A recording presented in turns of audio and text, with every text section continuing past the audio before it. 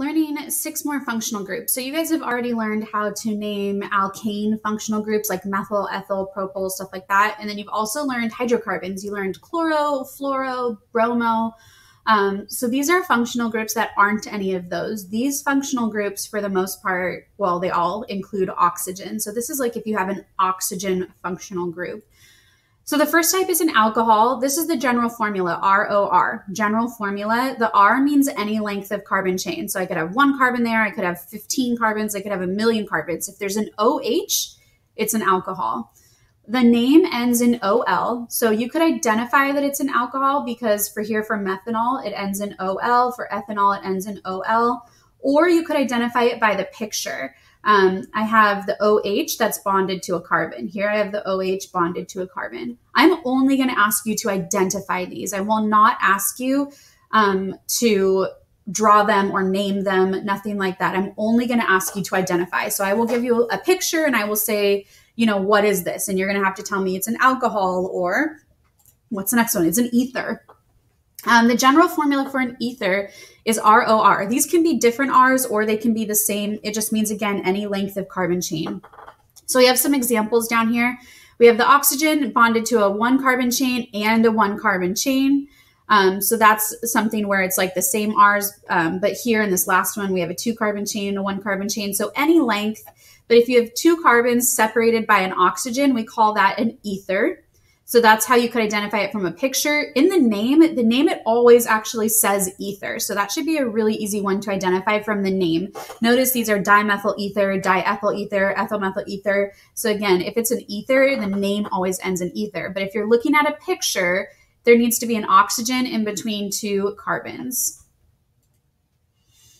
Next is an aldehyde. So aldehydes, their general formula is this picture over here. So um, the first two don't have any double bonded oxygen. So ether and alcohol, they don't have any double bonded oxygen. They're all single bonded. The next four all contain double bonded oxygens. So first thing you should do is ask yourself, is there a double bonded oxygen? If not, it's an alcohol or an ether. If it is, then it's one of these next four. So an aldehyde here, you can see from the picture, it has a carbon, a double bonded oxygen, and it's attached to another carbon and a hydrogen. So basically this means like an end carbon. If I had a really long chain, if I had a million, this double bonded oxygen would be on the last carbon. So you can see here that I have a carbon chain, a carbon, and then that double bonded oxygen is on my last carbon.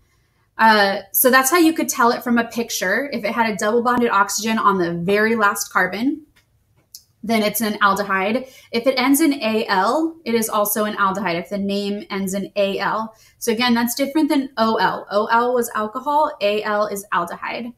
This is the most common aldehyde, formaldehyde. You guys should know the name formaldehyde and you should know the structure. Notice there's only one carbon. There's no any there's no other there's no other carbons. It is the smallest aldehyde um, with only one carbon.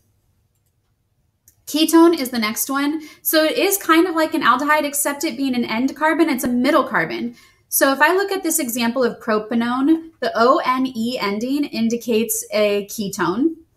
And then the structure, we know it's a ketone because that double bonded oxygen is on a middle carbon. If it was on the end carbon, if this oxygen was here or if it was here, then it would be a, uh, an aldehyde. But since it's on a middle carbon, it's a ketone.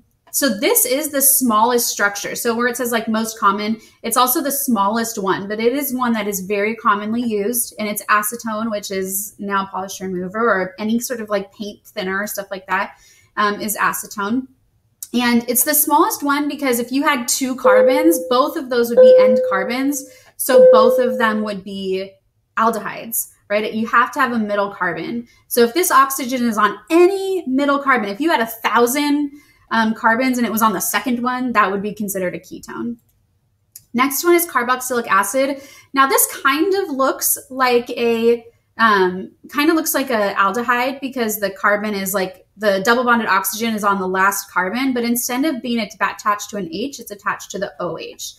So carboxylic acid has the double bonded O and an OH. So that's how you can tell the double bonded O and the OH.